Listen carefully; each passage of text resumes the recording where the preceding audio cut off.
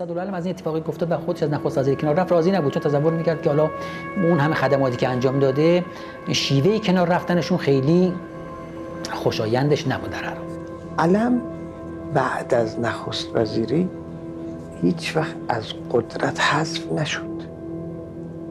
اولا به عنوان چهره نزدیک شاه همیشه در دربار حضور داشت ولو پستی نداشت.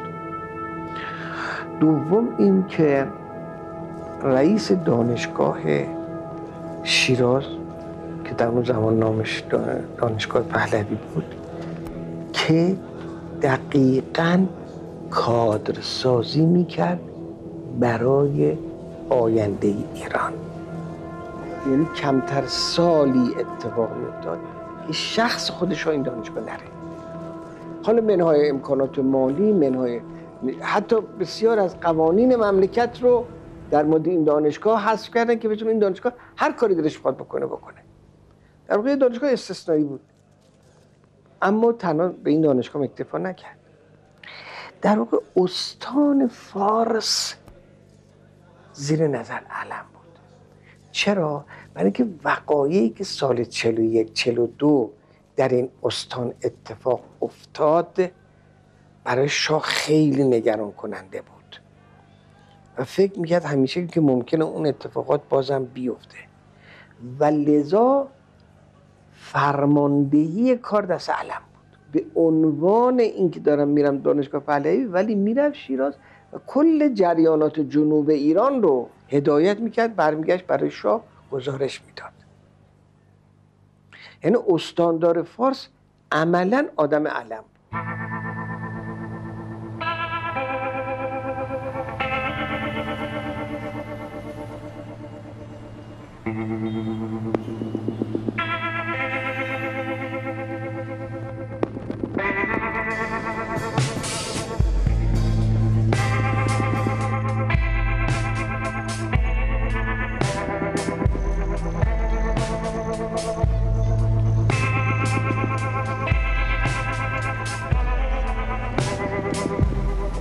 دوری علم از تهران اما باعث نشد که او در کانون تحولات سیاسی کشور نباشد جناب امیر همچنان به عنوان مشاور شاه معمور امور محرمانه دربار بود تا اینکه در میانه دهی چهل به وزارت دربار رسید در همین جاست که جشن تاجگذاری با کارگردانی علم برگزار می شود.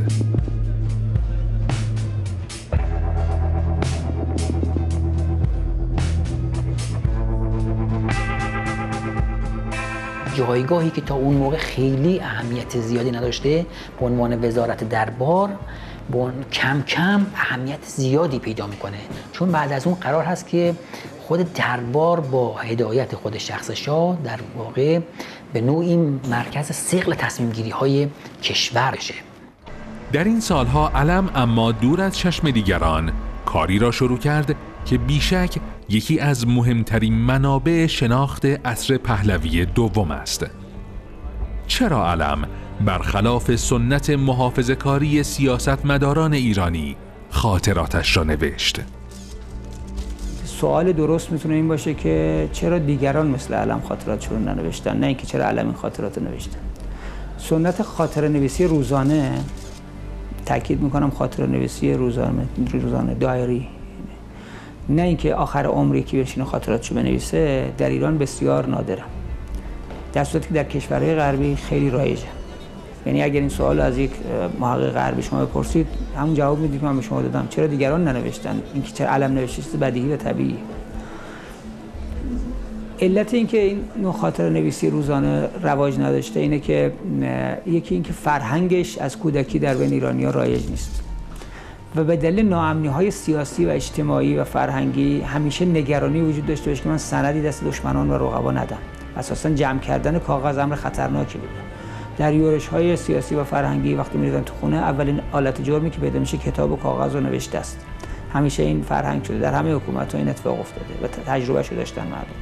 و آدم های مثل علم یا اعتماد سلطنه یا اشخاص دیگه که این خاطراتش نوشته مثل سالور به اصطلاح که عین السلطنه سالور که این خاطرات در جلد مختلف نوشتند همشون به هر حال اصلش امر مقدسه و مهمی از جهت حداقل برای ما که تاریخ می‌نویسیم منابع مهم است. مهمترین کاری که کرد همین یادداشت های علم هست.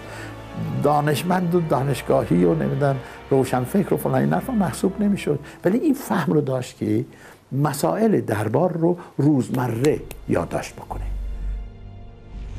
خیال دارم. یادداشت های سی سال زندگیم را با شاه بنویسم. دفترچه یادداشت قبلی را در بانک یونیون سوئیس به امانت گذاشتم و به دخترم توصیه کردم که قبل از پنجاه سال دیگر یعنی به طور قطع بعد از درگذشت من آن را چاپ نکنند همچنین قبل از درگذشت ارباب عزیزم که امیدوارم خداوند مرا قبل از او از دنیا ببرد چون زندگی بدون او برای من مفهومی ندارد. دیگر اینکه اگر خدایی نکرده رژیم تغییر کرد که نخواهد کرد آن وقت دخترم می‌تواند این یادداشت ها را منتشر کند. علم نوشتن خاطراتش را از 24 بهمن 47 آغاز کرد. روزی که دولت عراق به دنبال نبش قبر هارون الرشید و انتقال آن به بغداد بود و امیر عباس هویدا هیئت اجرایی حزب ایران نوین را تغییر داد و شوروی به دنبال بستن راه هوایی برلین بود. در مورد خاطرات اسدالله علم باید خدمت عرض کنم که من معتقد نیستم که آقای علم همه چیز رو نوشته و به هر حال چیزهایی وجود داره که اونجا خودش خودسانسوری کرده. آقای علم این خاطرات رو حتما برای انتشار سریع ننوشته. حتما برای از بین بردن هم ننوشته. تصور علم به درستی این بود که این خاطرات روزی روزگاری ده ها سال بعد بعد منتشر بشه. به نظر من با توجه به تجربه بقیه خاطر نویسایی که من ازشون دیدم. ولی مثل مثلا شخصیت های مثل تونی بین در بریتانیا که یک سیاستمدار چپ منتقد بود اون قدم شرایط آرمانی برای وجود نداشت که در حیات خودش خاطرات چاپ بکنه طبیعتا.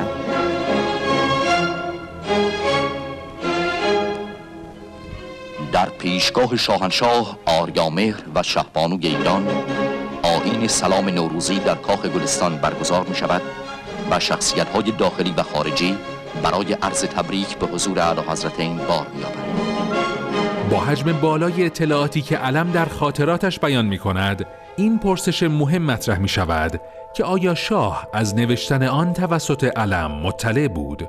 علی نقی علی خانی وزیر اقتصاد در کابینه هویدا و از دوستان نزدیک علم که ویراستاری خاطرات او را نیز بر عهده داشته است می‌گوید که شاه مطلع بوده اما نمی‌دانسته علم چه می نویسد علم کاملا متوجه بود که برای پیشبینی هر نوع سوء تفاهمی بهتر است که خودش به شاه بگوید که این یادداشت‌ها رو می‌خواد بنویسه. و از او هم اجازه می گرفت که بتوانه رونوشت بعضی از سندها رو نگه داره و با یادداشتهاش برای آینده بگذاره. بله. به همین دلیل هم این سندهایی که ما در این جلدها می‌بینیم تمام به همین صورت بده بنابراین شاه کاملا از این قسمت اطلاع داشت. ولی از محتوای چیزی که علم نوشته اطلاعی نداشت.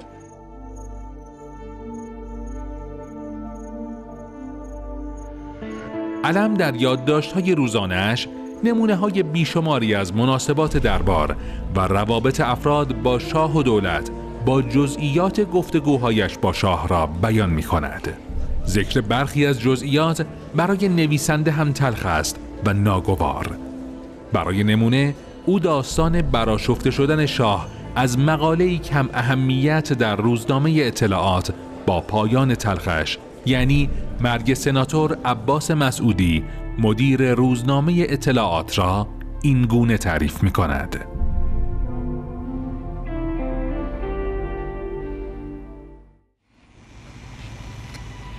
سر شام رفتم. شاهنشاه خیلی عصبانی بودند. این مسعودی را از دور می بینم که شاخوشانه می کشد که بیاید با من حرف بزند.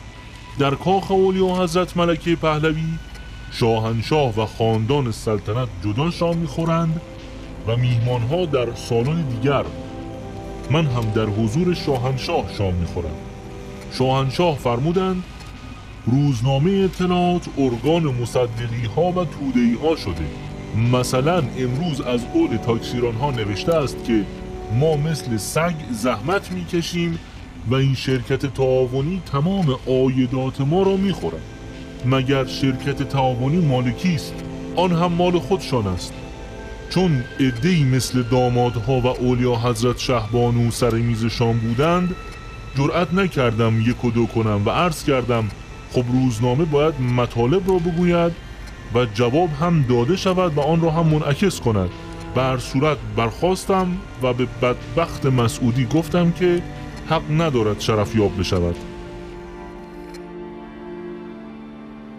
صبح روز بعد سناتور مسعودی نامه به علم می نویسد که علم آن را زمیمه یادداشتهایش کرده است.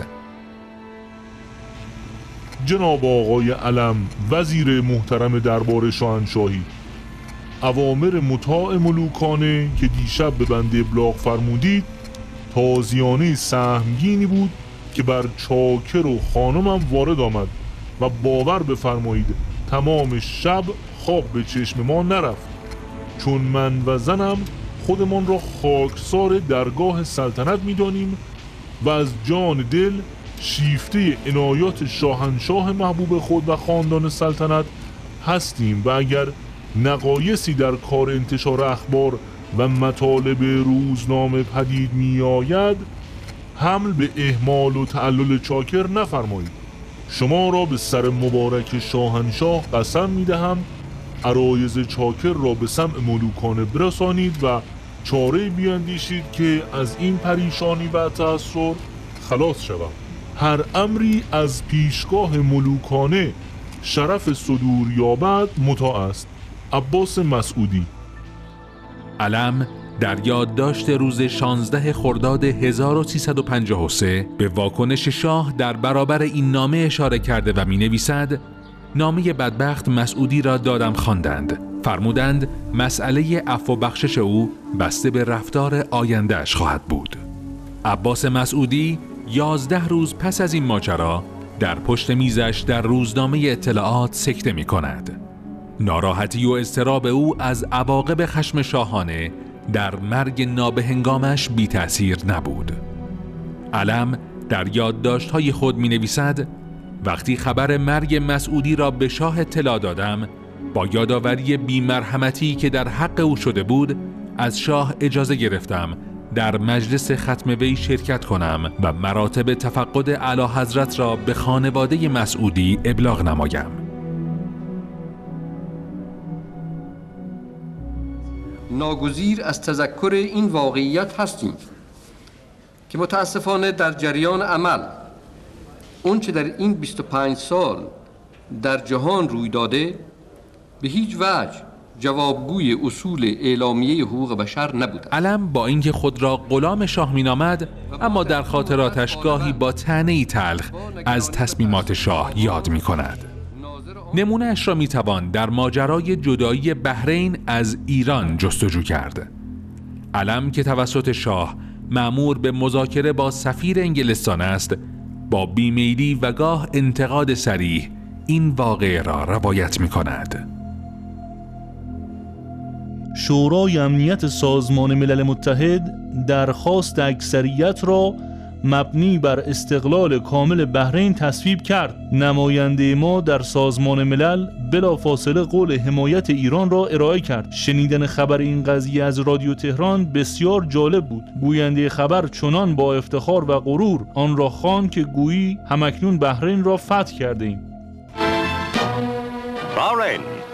36 years ago, oil began flowing here. It brought prosperity, a prosperity that has been wisely used to serve the people of this island state. This is the new town of Isa, one of the most ambitious welfare projects undertaken so far, which, when completed, will rehouse one-fifth of the total population.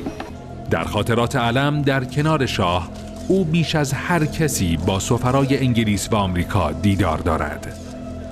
بسیاری معتقد هستند که این مسئله به ریشه های روابط خاندانی او با انگلستان برمیگردد. در خاطراتش هم می‌توان رگه هایی از پیام رسانی میان شاه و انگلستان از طریق علم را مشاهده کرد. اوج این داستان در ماجرای مذاکرات نفتی است.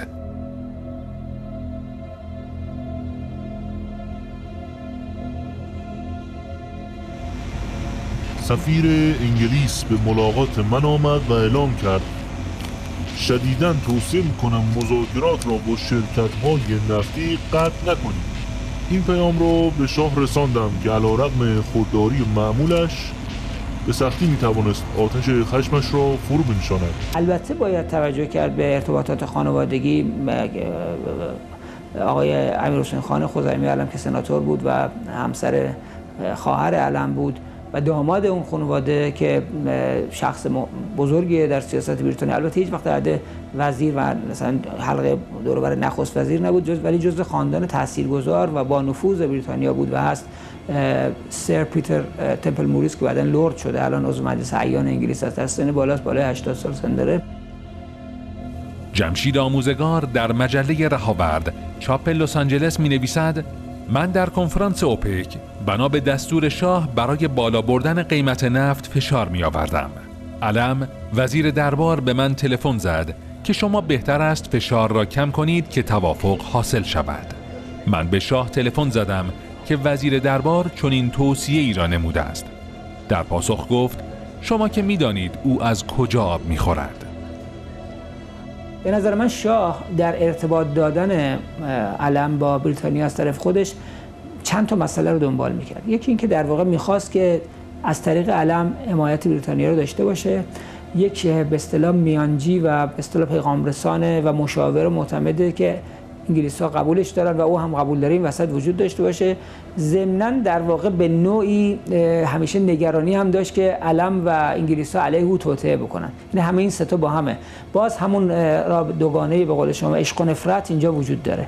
یعنی عشق و نفرت در سیاست بریتانیا در دوران پهلوی همیشه وجود داشته که ضمن اینکه علاقه داشتن که با لندن رابط خوب داشته باشن یک نفرتی هم وجود داشته و ترسی هم وجود داشته و هر دو تا با هم بوده. چه در مورد محمد رضا شاه در مورد علم. میگه کنفرانس اوپک در تهران هست و وزرای نفت زیافت دربار دعوت شدن در کاخ نیاوران. اصل علمی میسه که برخلاف معمول من دیدم اعلی حضرت خودش دم در وایساده و به مهمانان خوش آمد میگه و راهنمایی می‌کنه که برن تو اتاق. تعجب کرده او چرا همچی کاری می‌کنه؟ می‌نویسه اینطور. بعد میگه که یکی یکی که این وزرا آمدند و رفتن تو سر جاشون نشستن آخرش آقای دکتر منوچهر اقبال مدیر عامل شرکت نه؟ وارد خواست بشه وارد بشه علاوه جلوش گرفت و در و بست. و من تعجب کردم به علاوه گفتم که چرا این کار کردی؟ گفت او که گاوی بیش نیست. گفت گفتم حضرت او بعد از دید شما او گاوی بیش نیست. ما می‌دونیم که او گاوی بیش نیست.